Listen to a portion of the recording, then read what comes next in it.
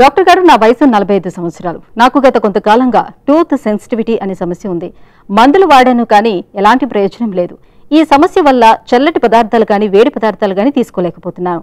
ఈ సమస్య తగ్గే మార్గం ఉంటే తెలియజేయండి అని అడుగుతున్నారు. ఈ ప్రశ్నకు డాక్టర్ గారు సమాధానం ఇప్పుడు తెలుసుకుందాం. నలభై ఐదు సంవత్సరాల వయసు మీకు పంటి సమస్య సెన్సిటివిటీ అనే బా దాంతో ఇబ్బంది పడుతున్నానని చెప్తున్నారు. మందులు కూడా వాడానని చెప్తున్నారు. ఎలాంటి మందులు వాడారో తెలియ చెప్పలేదు మీరు. సో పంటి సెన్సిటివిటీ రావటం అనేది సాధారణంగా పంటి మీద ఉన్న ఎనామిల్ లేయర్ ఏదైతే గట్టిగా ఉండే పింగాణి లాంటి పదార్థం ఉంటుందో అది అరిగిపోయినప్పుడు పంటి దాని కింద ఉండే లేయర్లో ఉండే డెంటిను కొంచెం మెత్తగా సాఫ్ట్గా ఉంటుంది.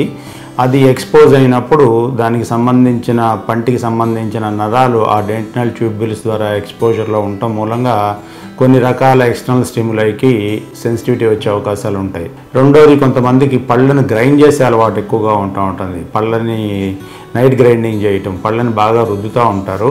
అలాంటి కండిషన్స్లో ఆ పండ్లు నవిలే సర్ఫేస్ మీద ఉన్న ఎనామిల్ బాగా అరిగిపోవటం మూలంగా డెంటిన్ ఎక్స్పోజ్ అయ్యి దాని మూలంగా కూడా సెన్సిటివిటీ రావచ్చు. కాకపోతే దీని నుంచి మీకు ఉపశమనం కావాలి అనుకుంటే కనుక దానికి సంబంధించిన డీసెన్సిటింగ్ పేస్ట్లు అంటే ఆ సెన్సిటివిటీని తగ్గించే మెడికేటెడ్ పేస్ట్లు మీరు వాడే రెగ్యులర్ పేస్ట్ కాకుండా ఈ మెడికేటెడ్ పేస్ట్ను వాడటం మూలంగా ఆ ఎక్స్పోజర్ ట్యూబుల్స్ ఏదైతే ఉన్నాయో అవి బ్లాక్ అయ్యి ఆ సెన్సిటివిటీ నుంచి ఉపశమనం ఉంటుంది.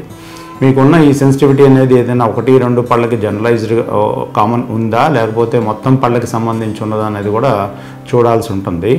సో మీకు ఆ డీసెన్సిటింగ్ పేషెంట్తో కూడా గొప్పగా రిలీఫ్ లేకపోతే కనుక మీరు మీ డెంటిస్ట్ని కన్సల్ట్ చేస్తే ఏదైతే పళ్ళు అరిగిపోయి ఉన్నాయో పింగాణి పోయినాయో వాటికి మళ్ళీ పింగాణి వేయటం ద్వారా ఆ ఎక్స్పోజ్డ్ డెంటిన్ని బ్లాక్ చేసేస్తే పర్మనెంట్గా మీకు ఆ సెన్సిటివిటీ సమస్య నుంచి ఉపశమనం కలుగుతుంది.